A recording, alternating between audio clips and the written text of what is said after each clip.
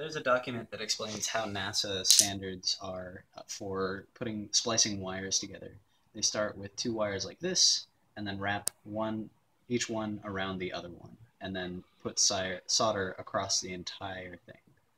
And I'm going to show you that with these two wires.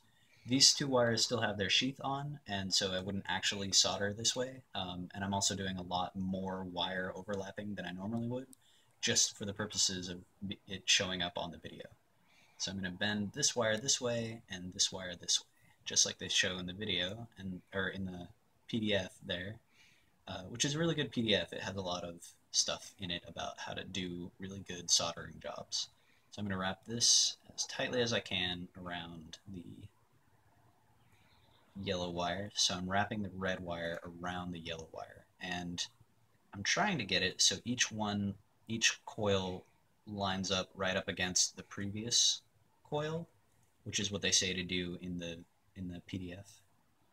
And then I'm going to go take the other side and do the same thing. I'm going to take the yellow and wrap it as tightly as I can, and I'm going to end up with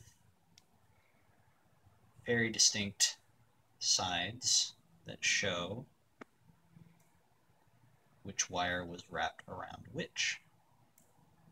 And if I were to solder this, I would start here, go over all of this, and end here. And then I would start with tape a little bit before that and go all the way to just after that. And that's it.